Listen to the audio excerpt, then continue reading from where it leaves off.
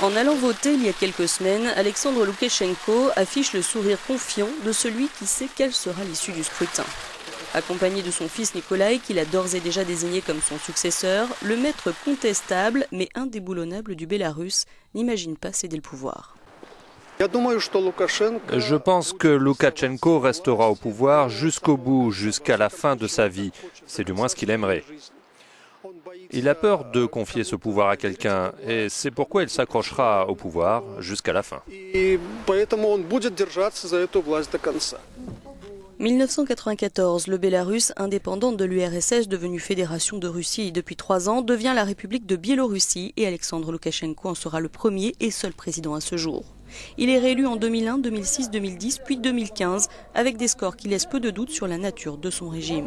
Car Loukachenko a tout verrouillé en 21 ans de pouvoir. Les médias, l'opposition, tout est sous contrôle. Les opposants sont des ennemis du peuple, estime-t-il, et lui seul peut garantir la stabilité du pays. Jugé infréquentable, il est interdit de séjour en Europe et aux États-Unis et c'est le seul pays du continent à ne pas avoir pu entrer au Conseil de l'Europe. Mais il a aussi ses alliés, dont l'indéfectible Kremlin et ses partenaires au sein de l'Union économique eurasienne née en début d'année. Commerce, soutien en matière de politique étrangère et en échange, un silence mutuel sur leurs affaires internes. Isolé sur la scène internationale et soumis à des sanctions des États-Unis et de l'UE, ces derniers temps, Loukachenko a multiplié les tentatives pour redorer son blason. Libération de prisonniers politiques, rôle de médiateur dans la crise ukrainienne entre la Russie et l'Union, accueil des pourparlers de paix entre Kiev et les séparatistes.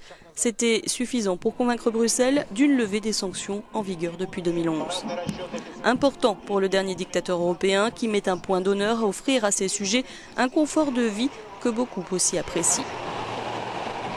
Et cette année, pour la première fois, le niveau de vie a baissé. Or, Loukachenko sait que son régime paternaliste, ce modèle soviétique qu'il impose tant au niveau économique que politique, tient aussi grâce aux avantages que son peuple peut en tirer. Si ceux-ci s'effondrent, peut-être que son pouvoir vacillera.